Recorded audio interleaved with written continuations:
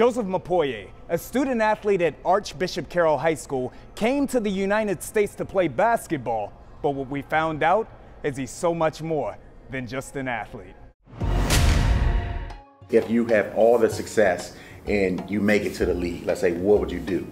He said, Coach, I would take care of my family, I would take care of my country. I would build my family a house, and I would build hospitals and schools.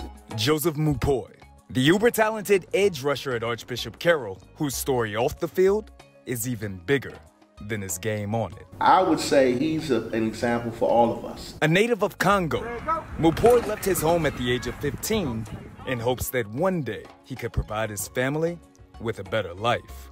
My mom want me uh, the good education. She want me to be graduated in America. Getting an education here in the United States can change his trajectory. Leaving his loved ones behind to place himself in a position to give back. Initially came to America to play basketball.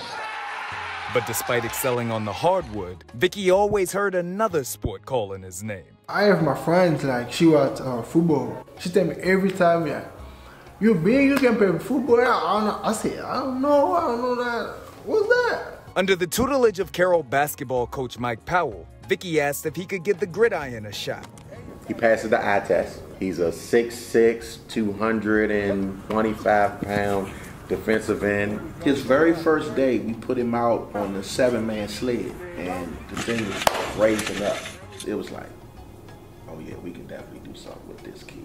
And it didn't take long for Carroll's coaches to see Vicky's natural talent, but what wowed them was his discipline, determination, and work ethic.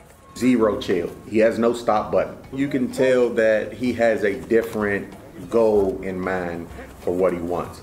It was during the WCAC's COVID abbreviated spring season that Mupoyi would have his first opportunity to test everything that he'd learned against an actual opponent. My first scrimmage, I feel like scared.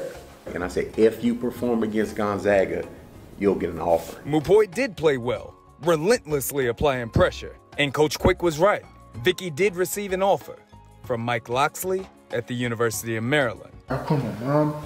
She cried, she cried. Now in the midst of his first full season, Vicky's game continues to grow. His play garnering the attention of myriad Power 5 schools. He came to America to go to college for free. If we had more young people like him, we would be in a better state.